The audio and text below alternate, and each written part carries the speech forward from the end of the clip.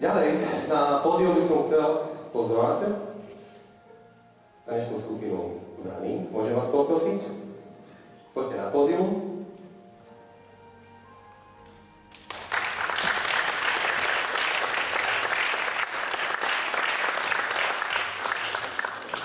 Ktorá je z vás taká najsúhorčivejšia?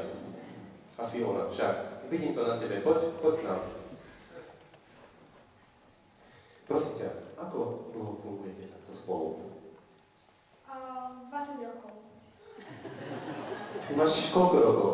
Teda nie 20, ale naša základná umelecká škola. Takže 20 rokov. Aha.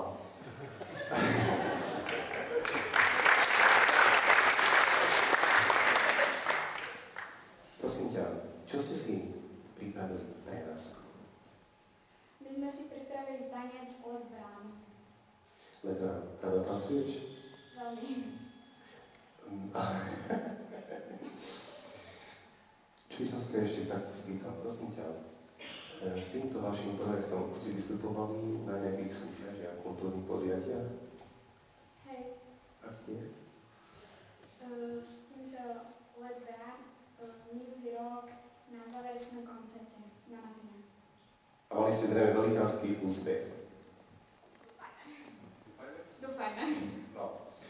Tak, málo stačilo slov, keby som jedno teraz povedal.